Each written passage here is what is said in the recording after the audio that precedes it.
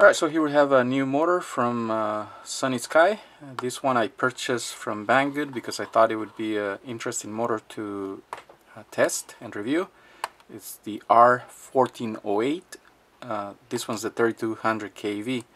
Sunny Sky has been making motors for quite a few years and always they've done a pretty good job on making motors. Uh, so this one's from their Edge Racing series. Uh, this is their high performance uh, line of motors. I thought it'd be a good one to, to test and so we could compare it to other similar size motors. So as you can see they put this uh, scratch, you know, you make sure you get the uh, authentic motors. I guess there's a, a lot of counterfeiting lately uh, on the internet, so make sure you get the correct motors. So they come in this box, nothing fancy, just a regular cardboard box, and motor comes inside a plastic bag, and they give you a couple of uh, M2 screws and some washers. Uh, those are the mounting screws, and a nylock. So right away uh, you'll notice there's something different on this motor is the shaft and the nylock. As you can see what they did is they turned down the shaft from M5 to a smaller diameter thread. So let's see what that is so it looks like that could be M4. M4 thread, so hmm. Don't know if I uh, you know don't know if I like that idea because what what's gonna happen is you're gonna have to uh, you're gonna have to have a different uh, a different wrench to tighten this nut because it's not the same as the uh, it's not the same size as the standard motors uh, so this one's gonna need a 7 millimeter uh, wrench and the standard motors they use 8 millimeters. You gotta carry extra tools. So my best guess is they did that to save weight. Uh, you're gonna end up with uh, less material here on the shaft and a smaller uh, nylock. So it'll save uh, maybe I don't know a gram or a fraction of a gram. So I don't know if it's worth the hassle.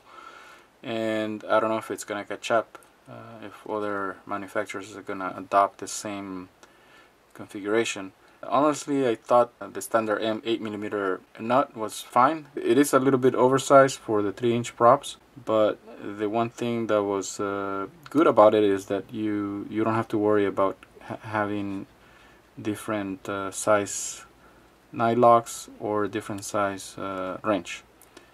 So, okay, that's the difference there and uh, other than that the motor as you can see they're adopting all the latest features. A naked bottom so the minimal type of base here. And uh, let's see what the pattern is on the mounting screws. So that looks like uh, it looks like 12 millimeters. So 12 by 12 and the shaft diameter looks like it's 3 millimeters so that's good. Pretty beefy shaft. So that should be uh, that should be pretty strong.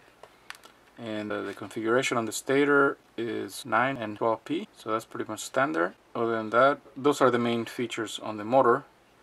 And it does come with a rather short motor wires. Those are only about 90 millimeters so would be good if they had given us a little bit longer, maybe 100, 110 millimeters at least. Uh, so this one might not reach the center mounted ESCs. So I'm gonna weigh it, let's see what it weighs with these 90 millimeters worth of wire.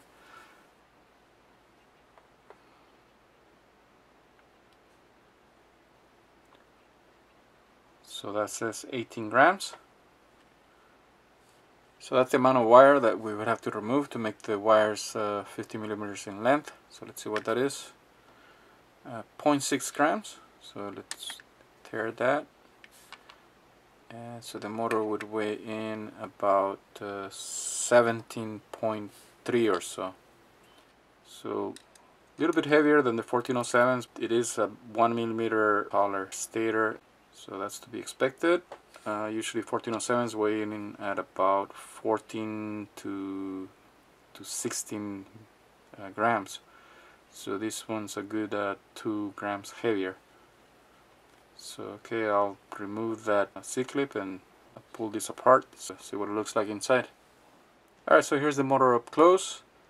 Uh, on the website uh, Sunny Sky they don't talk about much as far as what material the armature is made out of or the or the um, the shaft but for the larger motors they do list uh, uh, using 7075 aluminum so I would I would imagine this is the same material. Uh, the shaft is magnetic so uh, most likely it is uh, just hardened steel. So let's go ahead and pull these. Uh, magnets should also be N52 as in the larger motor, uh, being that this is the same uh, performance series, the R uh, uh, series, the Edge, Edge Racing. So let's pull this apart. I remove the circlip and I can see the uh, the bearings already came off a little bit so that's good it should be easy to to um, uh, to remove. So that's kind of good. I like it when more when the bearings are uh, when they, they fit tight but not overly tight so they're easy to remove like this one. So press that back in. So that's nice. And uh, a nice density on the magnets there. They certainly look to be I guess because they're so narrow, maybe they're not, it doesn't seem that like they're actually curved, but because they're so narrow, uh, they, they still make a nice round uh, pattern, so can't really tell if they have a, uh, an arc to them, you know. And there's the single piece shaft, so pretty beefy at uh, 3 millimeters.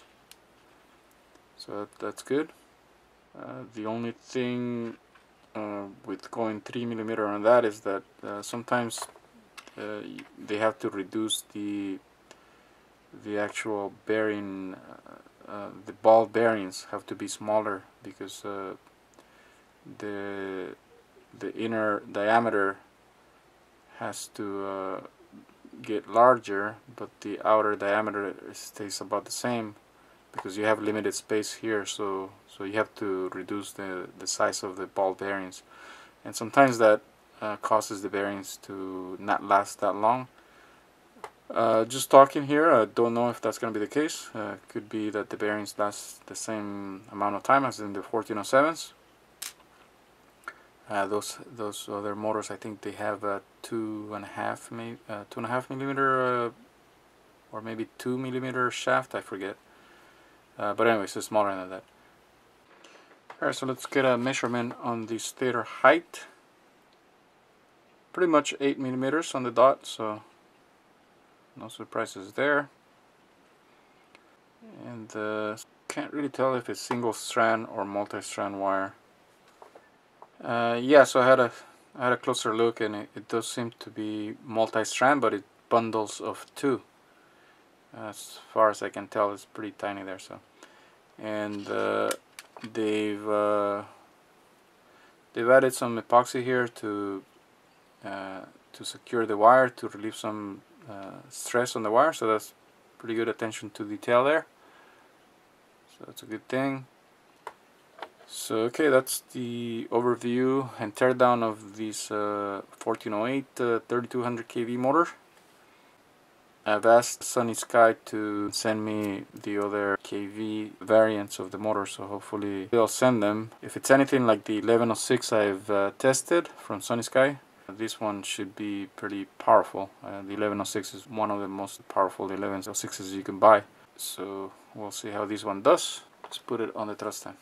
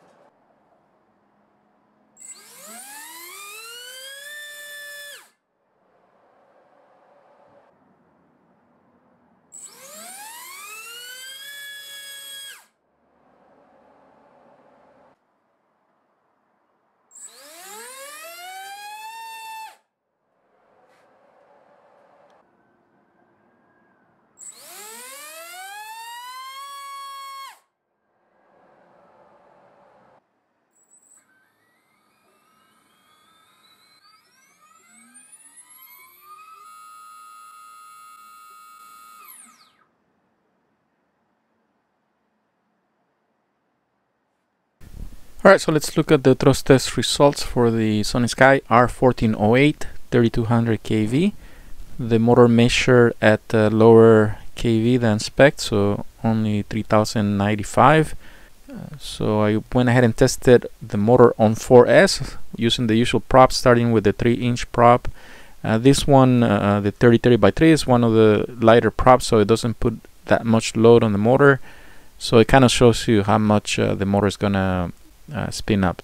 Uh, so 517 uh, good result I think. Very light load uh, only 14 and a half amps so very manageable. Keep in mind these are static thrust amps so they are gonna be higher than what you get on in flight uh, usually around 35% so if you multiply all these max amps by 0.65 you'll get a approximate maximum amp that you'll see in the air and again those are gonna be burst amps as well so you only see them for a couple of seconds you know when you punch out or come out of a dive uh, that's what you may see. So that's why I use those max amps. We want to see what the expected max amp is. So anyway uh, the next prop the HQ 3030 by 4 uh, it's another good prop to test motors just to see how much torque the motor have.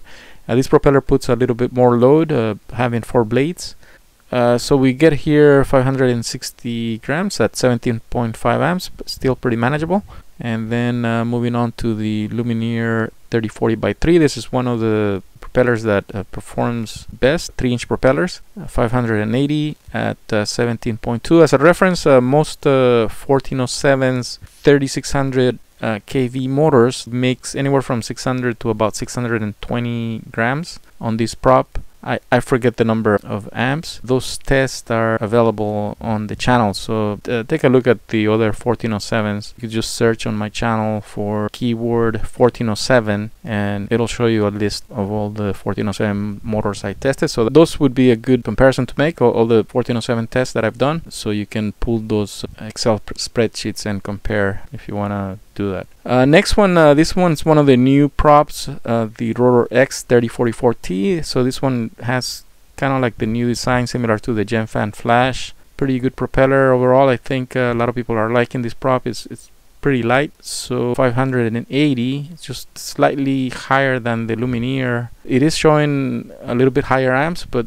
uh, that's what I'm noticing with all these new props like the Gemfan Flash and these Rotor X props all these new props have been designed to work best on their dynamic conditions, mainly having moving air through them. So on static, they don't show as good numbers, you know, or, they'll show very little increase in performance but everybody knows that these props are quite fast so if you put them in the air side by side with all these other more traditional pr props they'll actually be faster. Then the next one uh, one that I always test is this uh, two blade 4045 good numbers as well 741 so that's actually about the same as a 1407 3600 kV if I recall correctly.